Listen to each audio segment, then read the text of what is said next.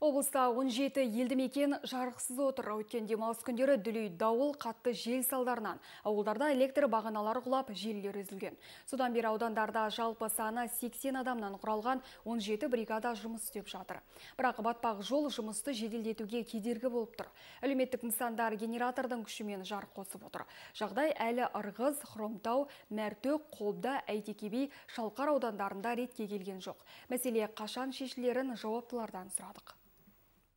Атап айтсақ әйтеке қауда ауданында бір ауылдан мартөк ырғыз аудан мартөк хромтау аудандарында бес ауылдан ырғыз аудан ырғыз ауданында үш ауылда және шалқар ауданында екі ауылда жарық жоқ. Мартук қабда хромтау бойынша бүгін кешке дейін бітіруге тырысады енді ол кісілер.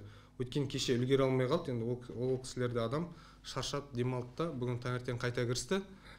Шалқар ауданы бойынша тұмалыкөл талдықұм енді талдықұмды бүгін кешке бітіруге тырысамыз дейді аудан әкімінің мәліметі бойынша а тұмалыкөл енді ертеңгі күнге қалып отыр. Қабда бойынша да тоже бір ауылда қиыл шағын ауылында жарсай екі бұрынғы атауы ол жақта тоже бір опора құлап қалған. Қазір бригада сол басында жүр.